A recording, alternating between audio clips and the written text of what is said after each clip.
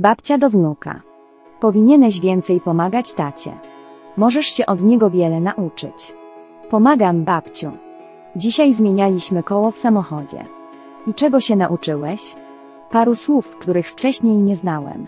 Subskrybuj po więcej.